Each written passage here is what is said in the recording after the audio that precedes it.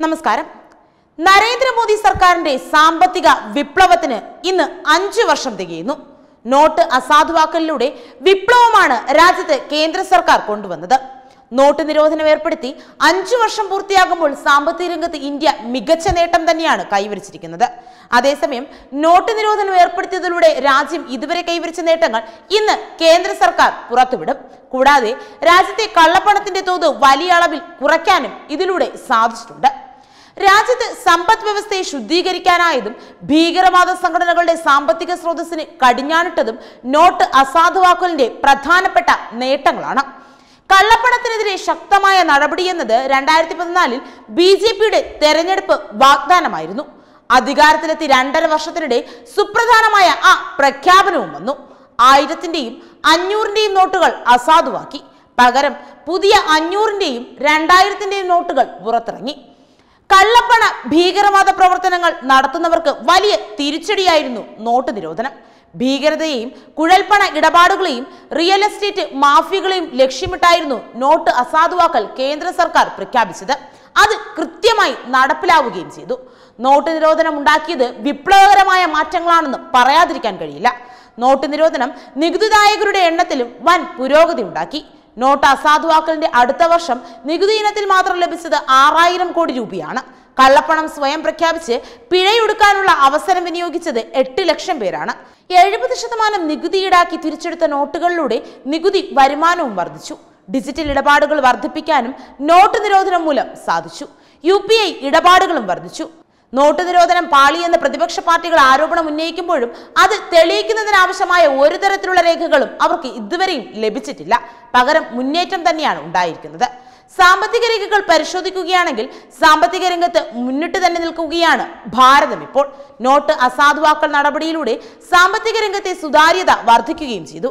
രാജ്യത്തെ മൂലധന നിക്ഷേപം വർദ്ധിക്കുകയും ഒരു വർഷത്തിനിടെ ബാങ്കുകളിലേക്കും മ്യൂച്വൽ ഫണ്ടുകളിലേക്കും കൂടുതൽ പണം എത്തുകയും ചെയ്തു. കാർഷിക മേഖലയിലടക്കം മുൻവർഷങ്ങളെ അപേക്ഷിച്ച് വലിയ മാറ്റമാണ് ഉണ്ടായത്. യു എസ് തെരഞ്ഞെടുപ്പ് നടന്ന അതേ ദിവസമാണ് നാല് വർഷം മുമ്പ് രണ്ടായിരത്തി പതിനാറ് നവംബർ എട്ടിന് ഇന്ത്യയിൽ ഉയർന്ന മൂല്യമുള്ള നോട്ടുകൾ നിരോധിക്കപ്പെട്ടത്. മുൻകൂട്ടി പ്രസ്താവിച്ചതും അല്ലാത്തതും കൂട്ടിച്ചേർത്തതുമായ നിരവധി ലക്ഷ്യങ്ങളാണ് നോട്ട് നിരോധനത്തിന് ഉണ്ടായിരുന്നത്. ഉയർന്ന മൂല്യമുള്ള നോട്ടുകൾ നിയമവിരുദ്ധ ഇടപാടുകൾക്ക് ഉപയോഗിക്കുന്നതിനെ നിരുത്സാഹപ്പെടുത്തുക കള്ളപ്പണത്തിന്റെ വ്യാപക ഉപയോഗം തടയുക എന്നീ ലക്ഷ്യങ്ങളായിരുന്നു പ്രധാനമായും ആ ചുവടുവയ്പ്പിനുണ്ടായിരുന്നത്. ഉയർന്ന മൂല്യമുള്ള നോട്ടുകൾ നിരോധിക്കപ്പെടുമ്പോൾ വാണിജ്യ ഇടപാടുകളിൽ ഡിജിറ്റലൈസേഷൻ സംഭവിക്കും.